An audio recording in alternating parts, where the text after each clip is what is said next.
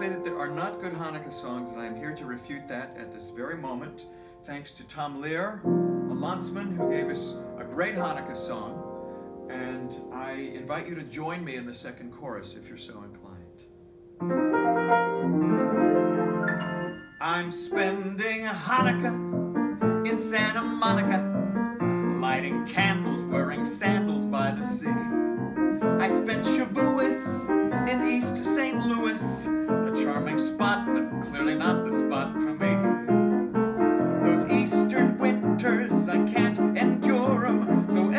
I pack my gear and come out there for Purim, Rosh Hashanah. I spend in Arizona, and Yom Kippur way down in Mississippi.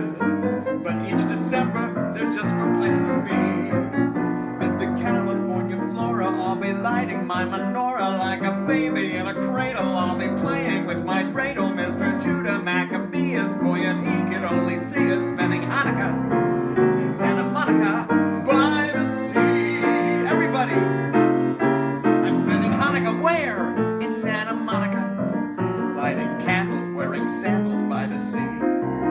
I spent Shavuos where? In East St. Louis. A charming spot, but clearly not the spot for me.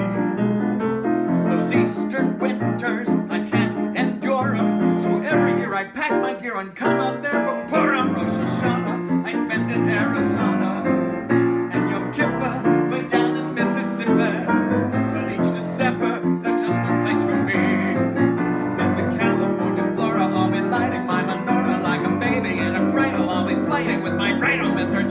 Maccabeus boy, and he can only see us spinning Hanukkah.